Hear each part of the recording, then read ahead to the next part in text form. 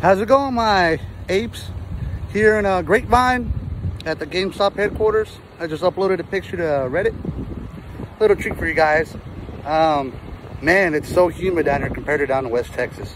Over in West Texas, it's so um, hot, dry, 100, 120 degrees. Here, it's humid as hell.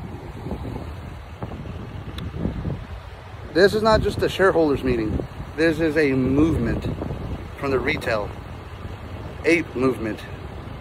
Buy, hold, and vote.